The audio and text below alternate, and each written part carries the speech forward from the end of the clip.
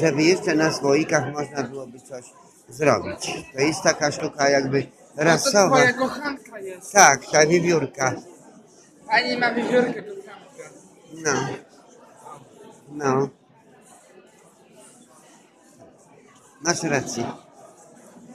Puszczę ciebie w delegacji.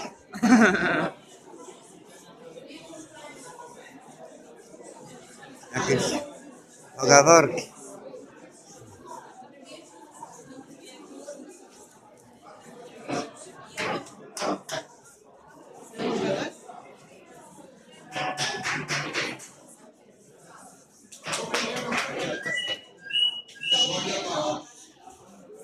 Ale nie mam zamiaru.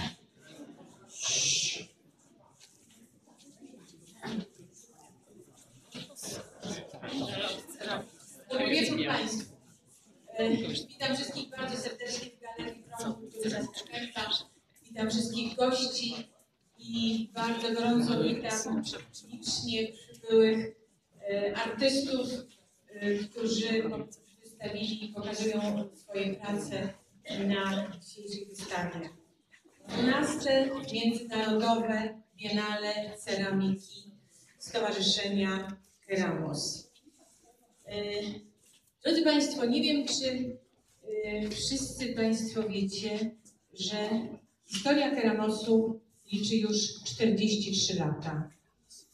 E, Wszystko rozpoczęło się w roku 76. Patrzę, patrzę głęboko w oczy Magdzie, która wszystko na ten temat wie, kiedy e, zawiązała się grupa czwórcza Keramosu, przekształcona w 90 roku w Stowarzyszenie Artystów Ceramików Keramos.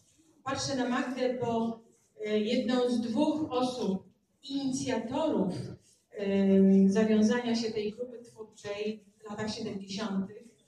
była Zofia Maria Czerwosz, mama Magdy. E, Bardzo, bardzo to miłe, że, że Magda e, po, po rodzicach e, tak, tak nadzwyczajnie też jest związana z tym nurtem i kontynuuje to, to wspaniałe dzieło. Drodzy Państwo,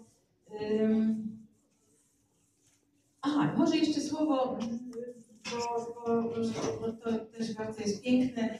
W artykule opisującym historię Keramosu e, Zofia, Zofia Czerwosz e, pisze e, o tym, właściwie dlaczego, jak to jest, że artyści ceramicy wybrali sobie właśnie taką formę wyrazu artystycznego.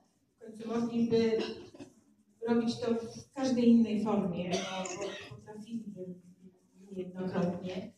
A jednak ta forma wyrazu, ceramika, jest bardzo trudna, wymaga dużej siły fizycznej, jest bardzo trudna technologicznie, a mimo to dla artystów ceramików jest to wyłącznie taki element zachęcający, a nie odwrotnie. Y, Bardzo pięknym y, tekstem tej historii opisanej przez Zofię Czerwosz jest ten element trwałości ceramiki. I tu piękny cytat z Mickiewicza, który mówił o tym, że płomień zgryzie malowane dzieła, a ceramika, ziemia, ziemia zachowa